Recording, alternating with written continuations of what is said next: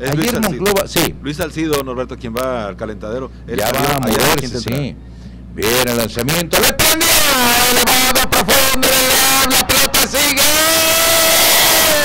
¡Se fue! El Jesse, lo dicho, le quitaron ahí el paquete y mire, con la caja llena quedó Adelán 4 por 0. Lo cazó. Emil descuidó un lanzamiento, se lo dejó cómodo alto y lo sorprende Horacio.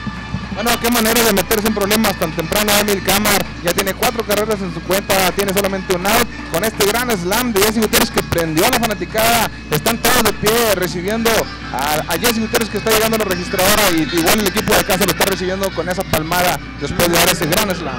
Me sorprendió a mí mismo, yo estaba en la franja